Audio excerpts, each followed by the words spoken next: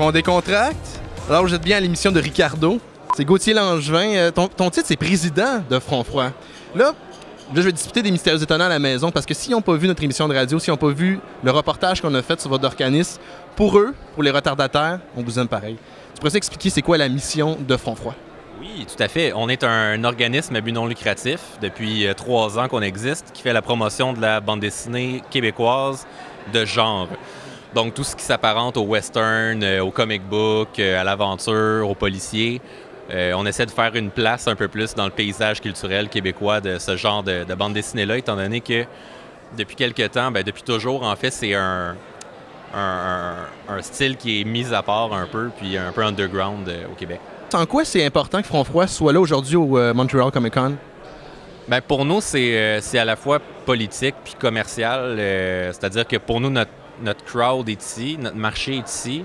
Et puis, selon nous, c'est super important de faire un, pont encore avec euh, les anglophones à Montréal. Euh, c'est des gens qui ont quelque chose à dire, c'est des gens qui ont une, culture de consommation de bande dessinée qui est très différente des francophones. Puis euh, nous, on est un peu à mi-chemin entre les deux. on est conscient que les Québécois, ce qui les caractérise, ce qui les caractérise en bande dessinée, c'est qu'ils lisent autant du comic book que de la BD européenne. Puis nécessairement, les artistes sont influencés par les deux, puis même par le manga.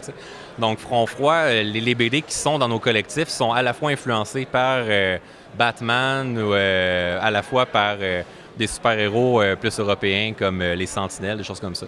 Le meilleur exemple, je pense, c'est Michel Falardeau, qui est, l'auteur de Mertanville, qui est publié en France.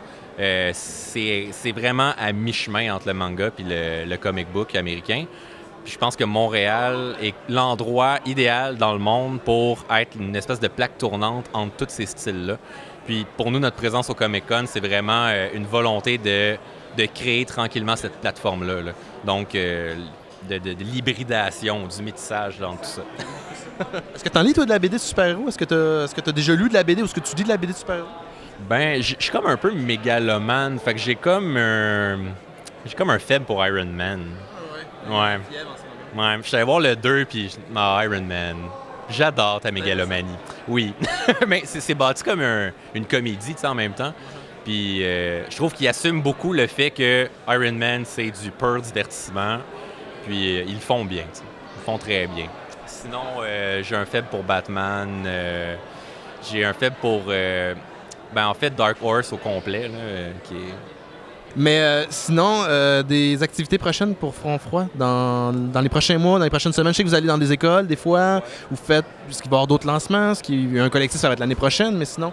Euh, ben, en ce moment, d'ailleurs, on est à. Ben, pas moi, mais mes amis sont à Toronto. Il y a une partie de Front Froid qui est au TCAF, au Toronto Comic Art Festival. Puis vous avez vendu des fronts, là, le front là-bas. Oui.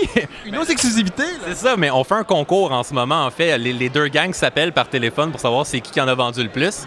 Mais eux, ce matin, ils étaient rendus à 12, puis nous autres, on avait comme vendu une. Sauf que là, il y a comme plein d'auteurs qui en ont acheté pour eux autres. fait qu'on est rendu à 16. Fait qu'on les bat. Mais euh, c'est un peu de la triche. On avait parlé à l'émission de radio. Je sais pas, est-ce que tu peux commenter sur euh, le partenariat avec Spasm ou euh, c'est en.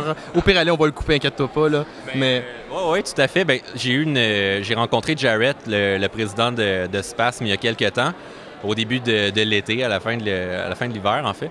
Puis euh, nous, on veut vraiment, en fait, toucher des gens qui vont à Spasme parce que c'est à peu près le même public. Euh, puis on, est, on a toujours, ben, on a été toujours nous-mêmes des fans de Spasme, en fait. Fait que c'était comme naturel pour nous autres de nous tourner vers, euh, vers cette gang-là. Puis euh, on s'est questionné pendant un bout de temps sur qu'est-ce qu'on pouvait amener en tant qu'artiste de bande dessinée à Space. Qu'est-ce que vous pourriez offrir pour euh, les présentations, des choses comme ça? Oui, c'est ça. Puis euh, il y a beaucoup de nos artistes qui font déjà du speed painting. Donc, c'est-à-dire ils sont, ils travaillent sur une tablette graphique puis sont projetés sur écran géant en même temps. Il y a un DJ qui met de la musique. puis on s'est dit, entre les films à Space, mais ça serait débile qu'à la place de juste avoir de la musique, on ait ça en même temps ça pourrait être en lien avec les films. On a déjà plein de, petites surprises qu'on veut faire à la crowd de Spasme qui tripe sur certains personnages. Es-tu supposé nous dire ça, ce que tu nous dis en ce moment? Là? On est C'est comme une genre d'exclusivité.